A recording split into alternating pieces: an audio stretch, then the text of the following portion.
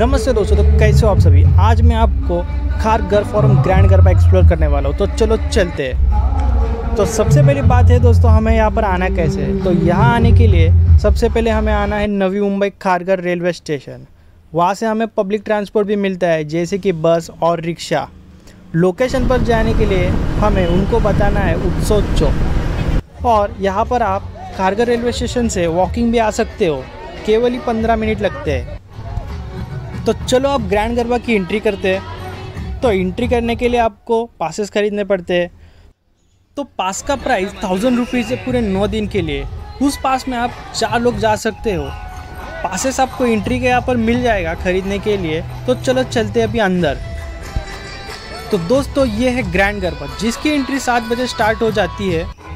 यहाँ पर आपके सेफ्टी के लिए पुलिस का भी अच्छा खासा बंदोबस्त किया गया है। तो यहाँ होता है लाइव ऑर्केस्ट्रा बड़ी जोरदार से। और जो आप गरबा खेलते हो, वो यहाँ पर बड़े स्क्रीन पे लाइव दिखाया जाता है। और स्टेज के बगल में आपके लिए एक छोटा सा फन फेयर लगाया है।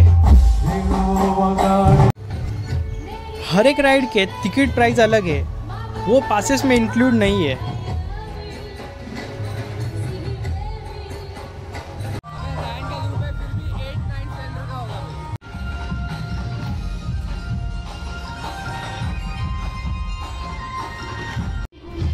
और गरबा खेलते खेलते प्यास और भूख तो लगती है दोस्तों। तो यहाँ पर आपको फ़ूड स्टॉल का भी ऑप्शन मिलता है। तो इसके भी अलग अलग प्राइस है। और यहाँ पर वॉशरूम की भी सुविधा की गई है।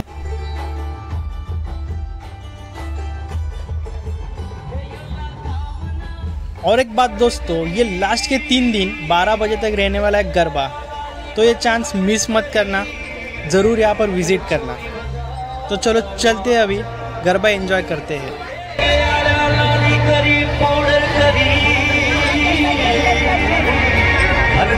बजा